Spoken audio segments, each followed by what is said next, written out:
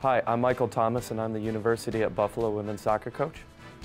They've done a fantastic job of keeping this team together. Uh, Nina Connell and Lindsay Bailey are our captains. We've had five freshmen that have been thrust into the starting lineup. Ainsley Weldon has been our goalkeeper for most of the season. She just had her first shutout. She's been fantastic for the last three games. And Megan Adman is a freshman out of Denver, Colorado, is actually our team's leading scorer with three goals right now. So you see the freshman adapting to the speed of play, you see him growing up, but sometimes that is a bit of a process. We just want to keep improving. And the things that we've improved on is defensively, we're a lot more accountable than we were in the beginning of the season. Just the little things that win soccer games, following your marks, winning those individual battles, and covering for each other. Offensively, we want to keep the ball. And we want to knock the ball around, and we want to be able to get in behind the defense and be dangerous.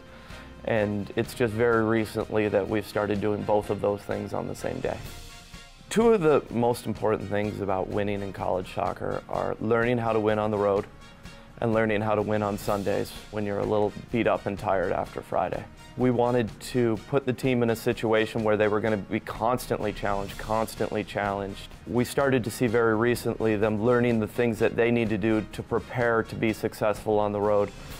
And we think it's going to prepare them for the rest of this season and then serve them well through the next four years of their college careers.